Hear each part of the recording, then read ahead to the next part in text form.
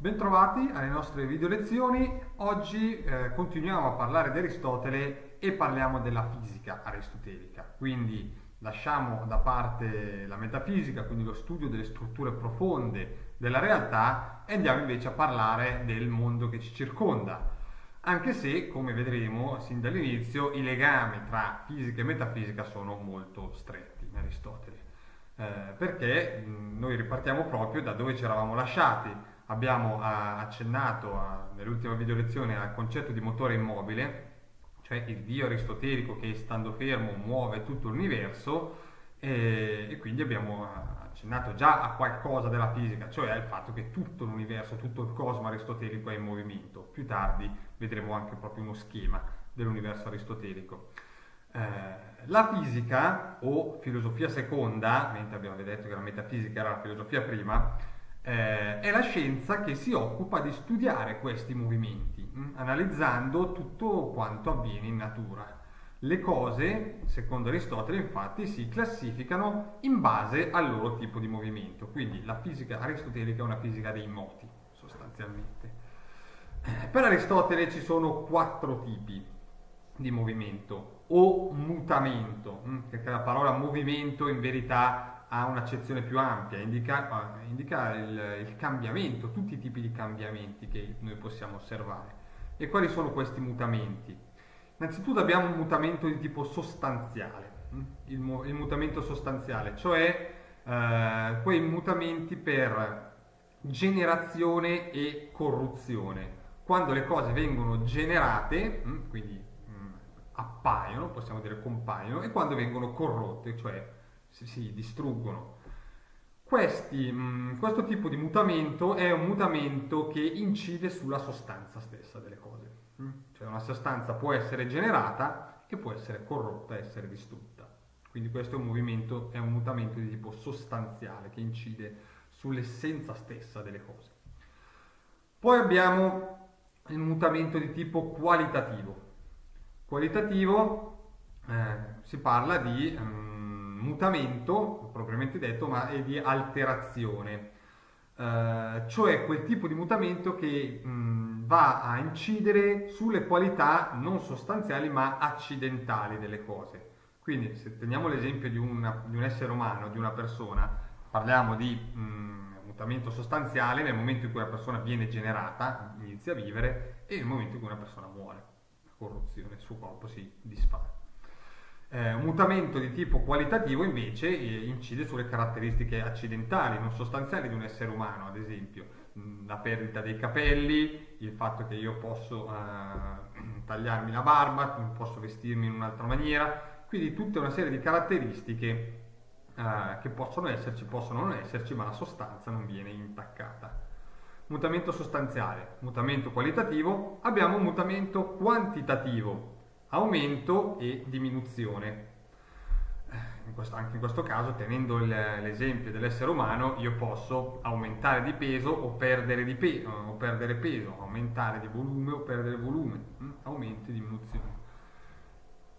E poi abbiamo infine il cosiddetto mutamento locale o movimento locale che è proprio lo spostamento vero e proprio. Hm? Quindi noi abbiamo il concetto più ampio di eh, movimento come mutamento, però abbiamo il movimento locale che è proprio il fatto che le, le cose, gli enti si possono spostare nello spazio ed è il movimento fondamentale eh, per Aristotele.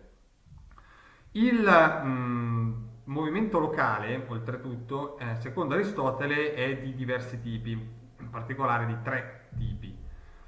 Il movimento locale può essere un moto, il moto può essere circolare, hm? i corpi possono muoversi di moto circolare, possono muoversi dal centro del mondo verso l'alto e viceversa dall'alto verso il centro del mondo. Tutti gli altri movimenti che noi possiamo eh, notare, rettilinei o eh, con variazioni, obliqui, sono combinazioni, secondo Aristotele, di questi movimenti fondamentali, circolari dall'alto verso il basso, dal basso verso l'alto. Perché questa distinzione? Perché um, perché gli ultimi due movimenti quello dall'alto verso il basso e dal basso verso l'alto, per, per Aristotele sono caratteristici di tutti i corpi terrestri, hm, che sono composti dai quattro elementi. Quindi tutte le cose, tutti gli oggetti che noi osserviamo in questo mondo sono composti di acqua, aria, terra e fuoco. E i corpi terrestri sono soggetti a tutti i tipi di mutamento e, o movimento. Cosa vuol dire? Che sulla Terra eh, tu, noi osserviamo tutti i quattro tipi di mutamento che abbiamo detto, sostanziale, qualitativo, quantitativo, locale, e per quanto riguarda il moto locale, il movimento locale, i corpi si muovono dall'alto verso il basso o dal basso verso l'alto. Perché questa distinzione? Eh, perché per Aristotele i corpi celesti invece sono, eh, si comportano di, eh, diversamente.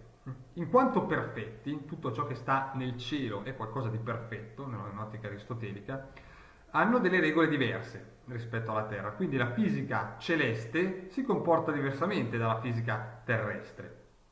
Quindi i corpi celesti innanzitutto non sono formati da nessuno dei quattro elementi, ma da un quinto elemento perfetto, incorruttibile, che è l'etere.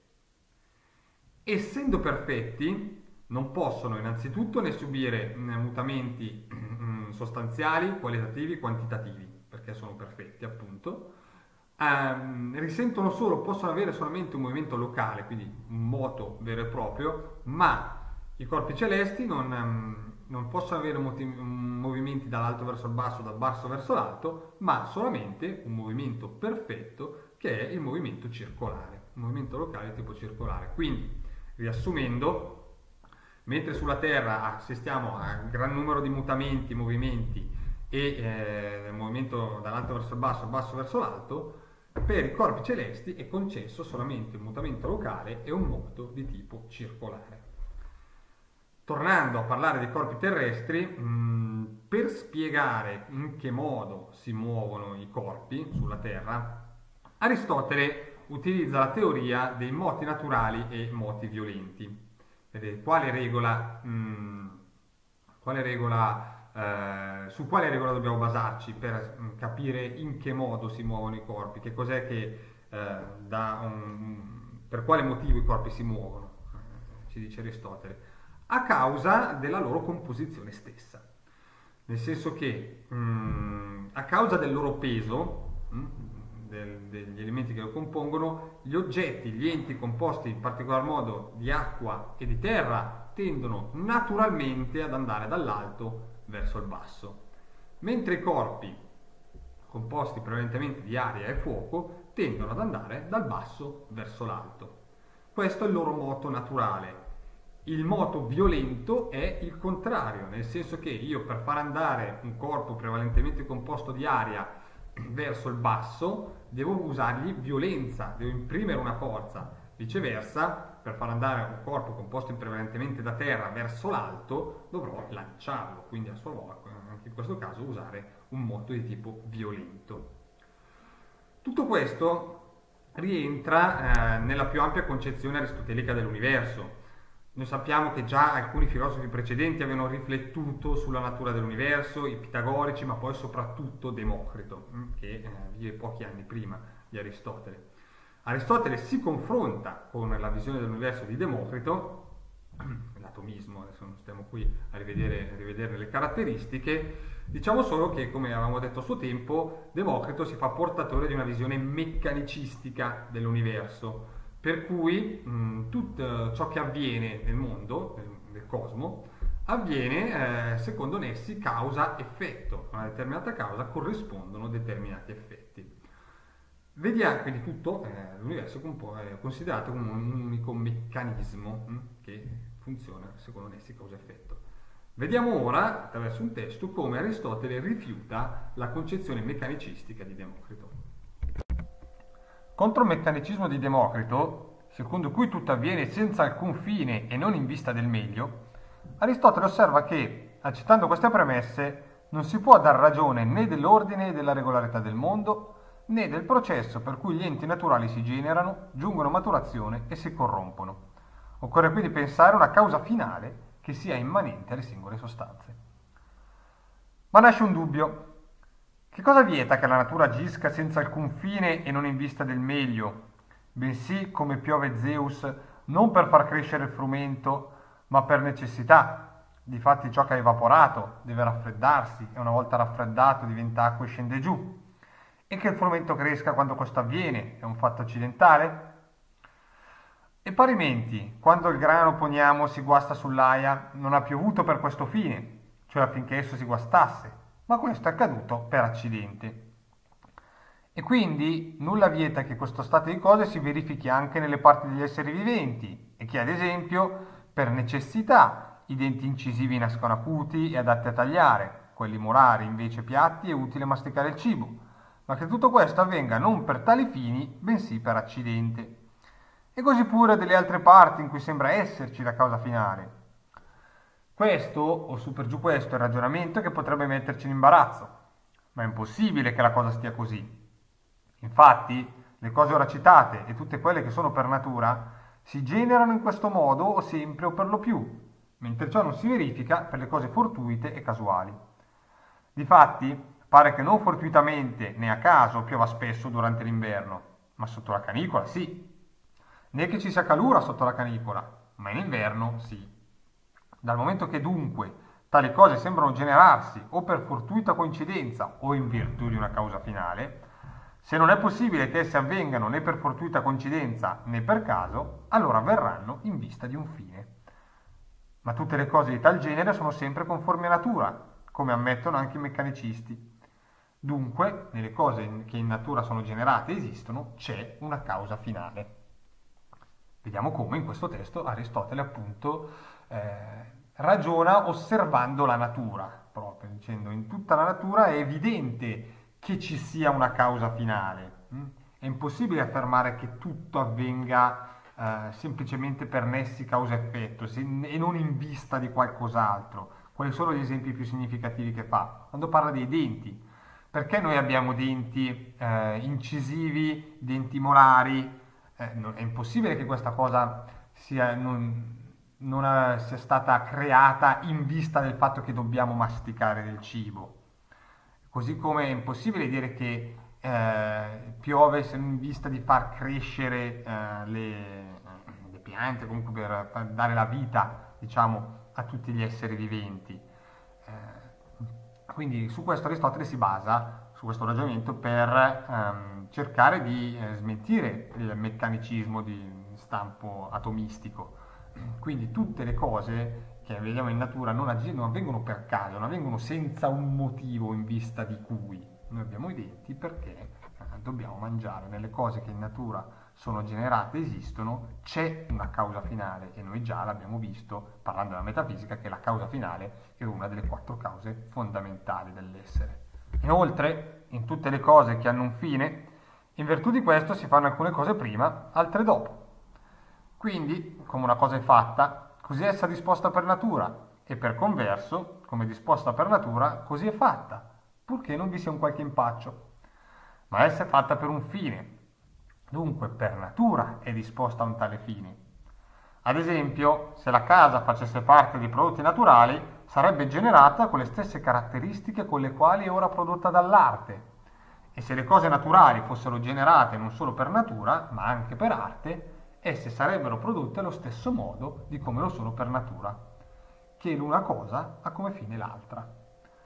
Insomma, alcune cose che la natura è incapace di effettuare, l'arte le compie, altre invece le imita. E se dunque le cose artificiali hanno una causa finale, è chiaro che è così anche per le cose naturali. Infatti, il prima e il poi si trovano in rapporto reciproco, alla stessa guisa, tanto nelle cose artificiali quanto in quelle naturali. Ma in particolar modo c'è manifesto negli altri animali, che non agiscono né per arte né per ricerca né per volontà.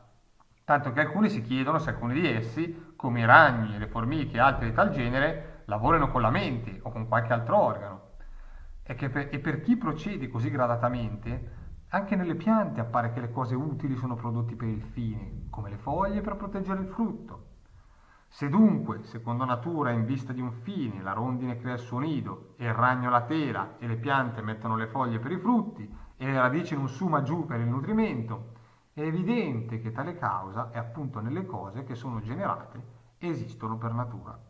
E poiché la natura è duplice, cioè come materia e come forma, E poiché quest'ultima è il fine e tutto il resto è in virtù del fine, questa sarà anche la causa, anzi la causa finale. Vediamo come qua Aristotele continua a supportare il suo ragionamento, prima facendo questa analogia tra natura e arte, cioè così come le cose artificiali sono fatte in imitazione della natura e sono fatte in vista di un fine, allora anche la natura stessa deve le cose che fa, le fa in vista di un fine, e in seguito un'ulteriore riflessione su tutto ciò che avviene nel regno vegetale e animale, i ragni non tessono la tela per caso, le, non mettono, le, le piante non mettono le foglie per caso, ma in vista di un fine, quello di catturare degli insetti per quanto riguarda il ragno, quello di proteggere i frutti per quanto riguarda la pianta. Quindi la finalità nell'universo, secondo Aristotele, è assolutamente evidente. Quindi, come abbiamo letto, vediamo che Aristotele propone una concezione finalistica dell'universo, del cosmo, cioè tutto avviene in vista di un fine, tutto avviene per un motivo, per raggiungere un obiettivo, diciamo, rifiutando completamente la concezione meccanicistica di Democrito, eh, basandosi appunto sulla regolarità della natura, su tutto ciò che avviene in natura. Però, eh, bisogna fare una precisazione, quello di Aristotele è un finalismo immanente, nel senso la finalità non è eh, dettata da qualcosa di trascendente, dall'esistenza appunto eh, di una provvidenza divina, diciamo così, non c'è un'intelligenza divina esterna che guida questo processo, no, la, finalità, la, la natura ha una finalità tutta interna a se stessa e che regola tutto lo sviluppo e tutto il movimento. Torniamo adesso, a, per concludere questo discorso, a parlare dell'universo aristotelico e eh, facciamo un po' un riassunto di quello che abbiamo detto, aggiungiamo un altro paio di elementi guardando questa immagine dell'universo secondo Aristotele. Come vediamo, appunto, l'universo aristotelico è un cosmo eh, sferico, anzi meglio costituito da una serie di sfere concentriche, dove abbiamo la Terra al centro, composta di elementi terra e acqua, mh, mm, attorniata dalla sfera dell'aria del fuoco e poi abbiamo tutta una serie di sfere relative ai vari corpi celesti, la sfera della Luna, quella di Mercurio, la sfera di Venere, la sfera del Sole, che, che quindi ruota intorno alla Terra, Marte, Giove, Saturno e infine la sfera delle stelle fisse. L'universo aristotelico quindi è un universo che ha determinate caratteristiche, è perfetto, eh, in quanto eh, nei cieli tutti i corpi celesti sono perfetti, si muovono solamente di moto circolare uniforme, l'universo è eterno, esiste da sempre ed è un universo finito? Come per quasi tutti i greci abbiamo visto. Eh, anzi, secondo Aristotele nessuna cosa è infinita, tutto ha uno spazio e un limite, quindi anche l'universo, che infatti è, è ha nel, il suo limite nella, nella sfera delle stelle fisse. Quando usiamo la parola sfera intendiamo letteralmente delle sfere, qualcosa di solido e di impenetrabile.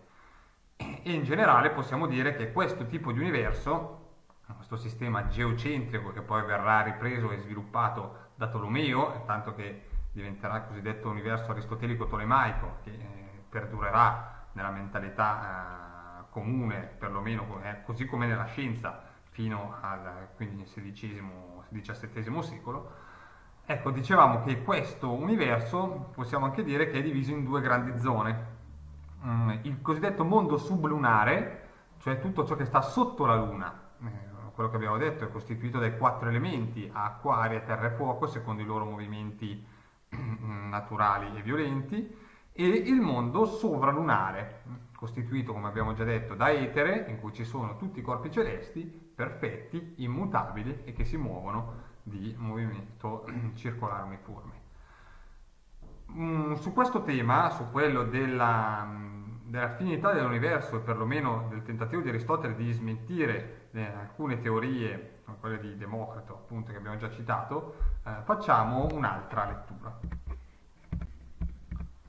Se un corpo ha peso o leggerezza, ci sarà nell'universo o un limite estremo o un centro. Ma questo è impossibile se esso è infinito. E in generale, dove non c'è né centro né limite estremo, e nemmeno un alto e un basso, non va neppur luogo il movimento dei corpi. Da quanto esposto risulta dunque evidente che il corpo del tutto non è infinito. Ancora, è necessità che tutti i mondi siano composti dagli stessi elementi, dal momento che hanno identica natura. Ma è necessario anche che ciascuno di questi corpi abbia ovunque la stessa potenza. È evidente dunque che di essi gli uni per natura si muovono allontanandosi dal centro, gli altri in direzione del centro, se il fuoco deve essere sempre identico al fuoco. E così ciascun altro elemento, come lo sono anche le parti di fuoco che si trovano in questo mondo. Ne consegue che le parti di terra che si trovano in un altro mondo avranno per natura la proprietà di muoversi anche verso questo centro e il fuoco che è lassù anche verso questo estremo. Ma questo è impossibile, perché se fosse così la Terra dovrebbe muoversi secondo natura allontanandosi dal centro e dirigendosi verso un altro centro, dato che questo è il rapporto in cui si troverebbero reciprocamente i vari mondi. Infatti, o non si deve porre che la natura dei corpi semplici sia la stessa nei diversi cieli, oppure se si afferma questo, è necessità fare uno il centro e uno l'estremo. Ma se è così, non è possibile che vi siano più mondi.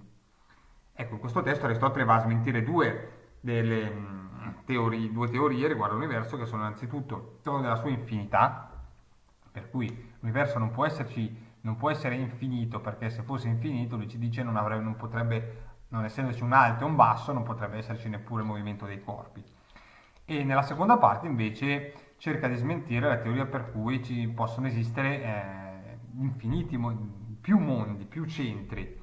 Il mondo deve essere solamente uno, perché altrimenti, oltretutto qui Aristotele un po' magari eh, inconsapevolmente andando a ipotizzare quella che potrebbe essere la teoria di attrazione dei corpi tra loro, che poi sarà quella che poi Newton svilupperà come la legge di gravitazione universale, ci dice che è impossibile che non ci siano più mondi, eh, che ci siano più mondi, perché altrimenti la Terra, muovendosi secondo natura, dovrebbe andare verso un altro centro se non fosse essa stessa il centro.